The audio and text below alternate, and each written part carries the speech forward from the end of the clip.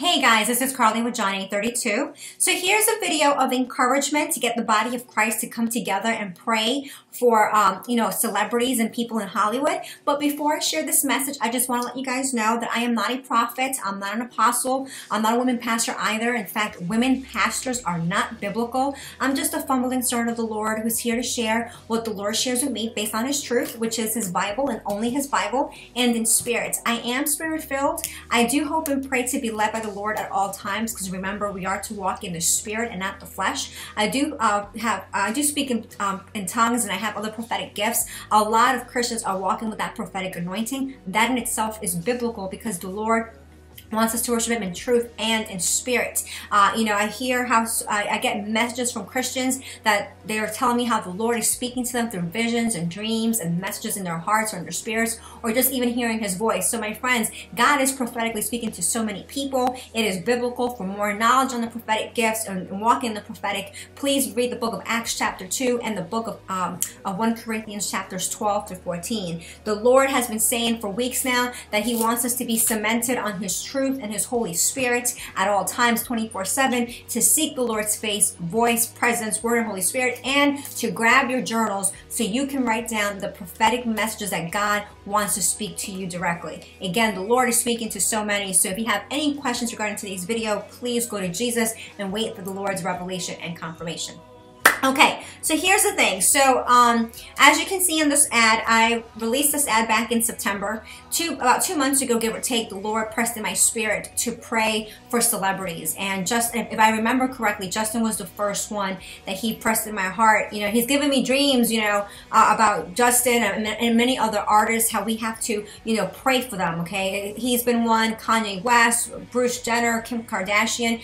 And talking to other Christians, the Lord has also given them dreams to pray for celebrities. I mean, the Lord will speak in many different ways, my friends. So, you know, uh, we just have to, you know, have a, a humble and contrite heart and uh, be receptive to what God wants to reveal to us because only God knows what's happening in their lives. Or God or God wants uh, you know us to pray for the things that God wants to pray for them you know? So anywho um, so yeah so Justin among many others he has pressed my spirit uh, you know and those that are walking in the prophetic many of us are truth and spirit believers. We see and we have our spiritual eyes. We see what's happening behind the scenes you know in order to be walking in the prophetic in order to be a truth and spirit believer you have to be born again.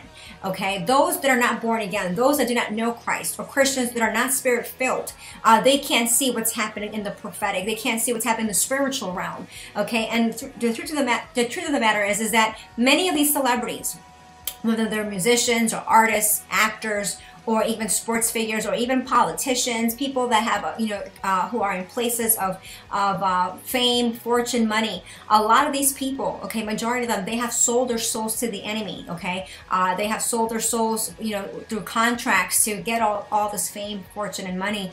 And unfortunately, many of them already locked in in these contracts and it's hard for them to leave. But see, Jesus Christ can set them free, okay? And I know God's heart, and if this is confirmation for you, if God has placed in your heart to pray for Hollywood, you know, keep on contending. There is power in prayer. Yes, we do recognize that Hollywood is uh, it is uh, it has demonic strongholds. There's a lot of satanic rituals and satanic organizations, the Illuminati, the New World Order, all these satanic organizations. But listen, I'm not worried about these satanic organizations because as a Christian, we as Christians, we know the Bible says that greater is He who's in Christ than He in the world, and we have the prophetic anointing. God will open up our spiritual eyes and ears we can cast out demons, we can pray in tongues, we can interpret the interpretation of tongues, um, we can, uh, you know by by in the name of Jesus, we can lead people to Christ and, and the Lord ha- can heal them and we can prophesy. These are all these beautiful prophetic gifts so we can minister to people, whether they're celebrity or not, but it's for us to minister and to walk in the anointing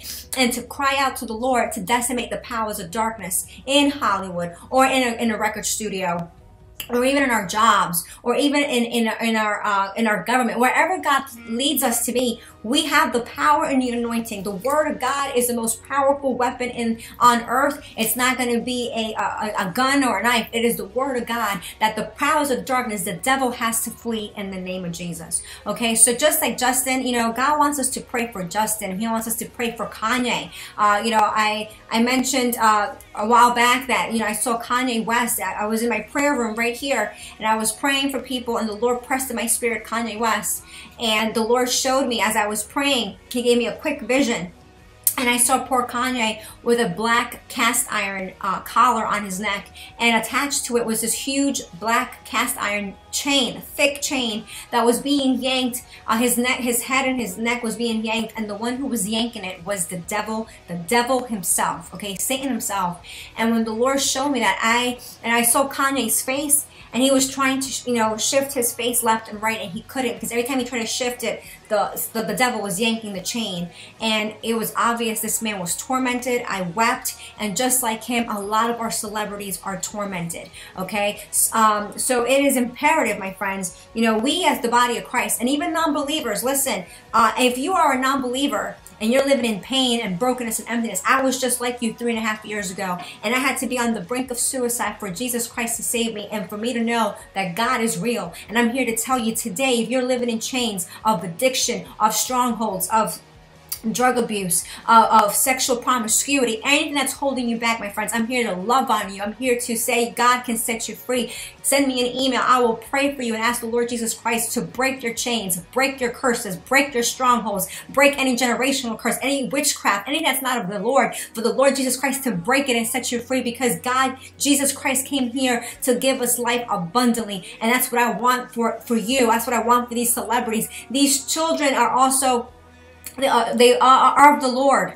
Okay, all children are of God, but unfortunately, they're doing things of the enemy. So their father is of the devil. But there's a God named Jesus Christ who is asking the body of Christ to pray, intercede, stop throwing stones. God already knows their sin. God knows that they're promiscuous. God knows that they have strongholds. God knows that they that they blaspheme and and they disrespect and they're immoral. God already knows. But it is God for God. To, it's for the Lord to judge, and it is for our job to pray. God have mercy on them. Lord, they don't know. Forgive them, for they don't know what they do, God. Lord Almighty, I pray that you would set them free, God. Remove their chains. Remove their scales. Remove anything that's not of you, Lord. Cast out their demons, Jesus. They, they, they, they're your child and they are broken. Fill them up with your Holy Spirit and have your way in their life, God. We bless them. We pray for them. Set them free, Lord, in the name of Jesus. That is our prayer, my friends. And I'm telling you, a while back, uh, last year, the Lord uh, showed me that Hollywood uh, this was uh, September of last year. He, the Lord spoke to my spirit right here in my prayer room. He said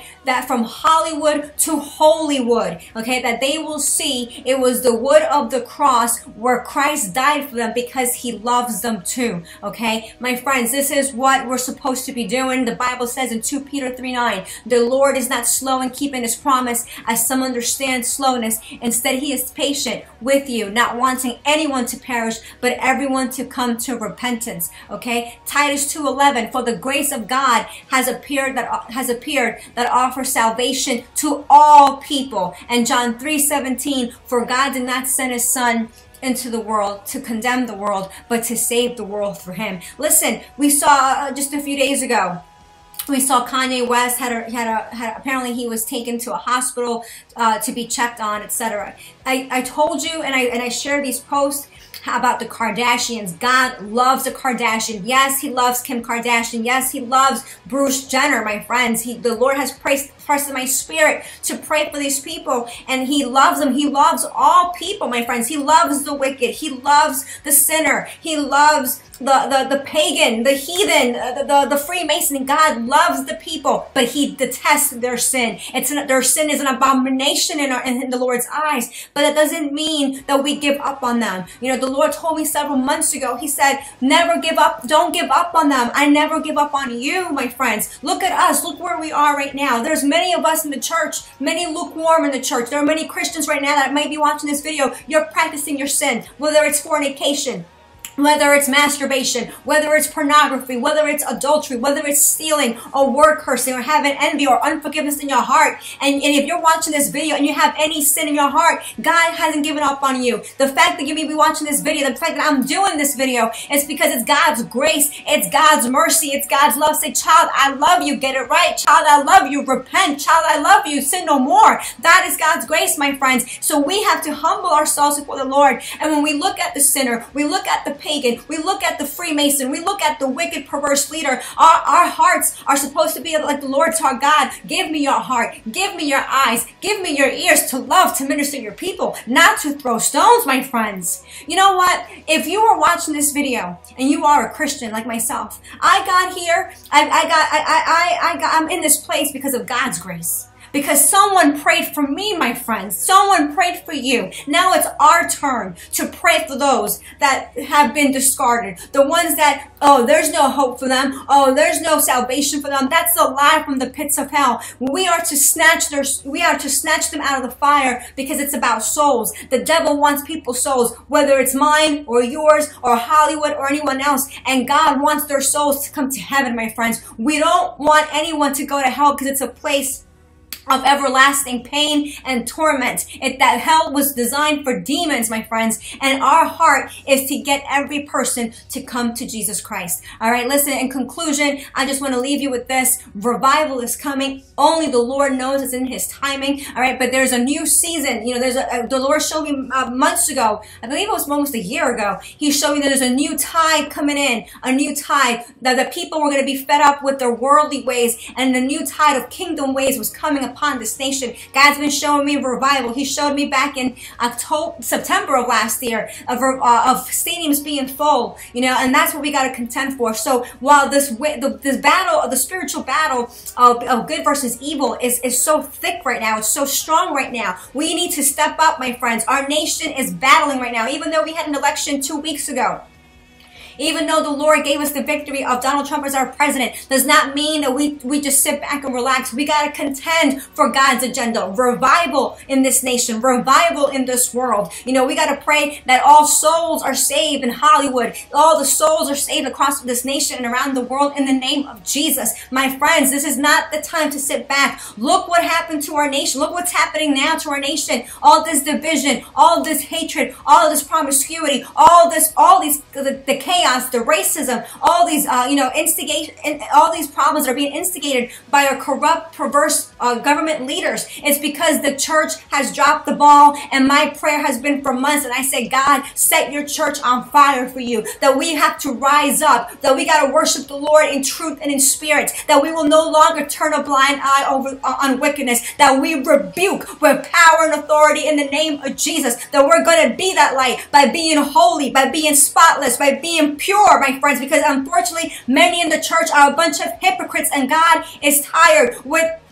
the hypocrisy. God is tired with the sin. God is tired with the, the, the self-righteousness, the wickedness, the perversion, the Freemasonry, the, the perdition, the corruption in the church. And it is time that the church becomes holy. It is time for the church to repent because if we are contending for revival, God is looking for righteous vessels, not dirty ones. So my friends, I want you to know, I want you to be encouraged, okay? You are a child of God and I speak life over you, over your calling, over your purpose, over your ministry. May God bless you. May God increase the prophetic anointing over your life. I speak life, truth, and blessings over, over you, and that God will have his way. Surrender to God. Stop negotiating with the Lord. Stop compromising. Stop running away from your calling. There are people that need to get saved. We want to see the glory of God over this nation, over this earth in the name of Jesus. And it's going to take an army of God, warriors of the Lord, who are going to stand up for truth, stand up for righteousness, and say, God, have your way. We want to see your glory, Lord. Show up and show off, Lord Jesus, on this nation and around the world. So I hope you've been blessed. I hope this has encouraged you and I'll try to be posting more videos in the hours and days to come. Listen, pray for them, okay? Let's contend